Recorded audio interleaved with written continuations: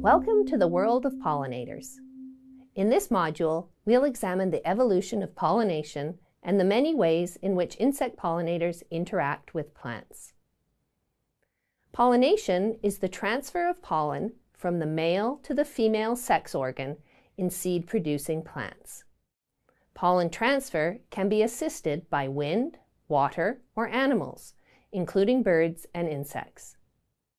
Angiosperms, the flowering plants, are more dependent on animal-assisted pollination than are gymnosperms, the non-flowering plants. Several orders of insects, such as the Coleoptera, Diptera, Hymenoptera, and Lepidoptera, contain flower-visiting species that act as pollinators of flowering plants.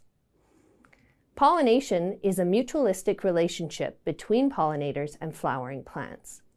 As a result, the players involved have evolved behavioral and physical traits that improve the pollination process, which we'll introduce in the first part of this module.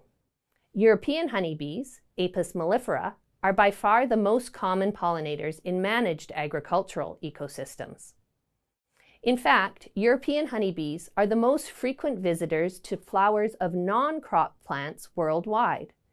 In addition to the pollination services they provide, honeybees also produce honey and wax, both of which have been important resources for people for thousands of years.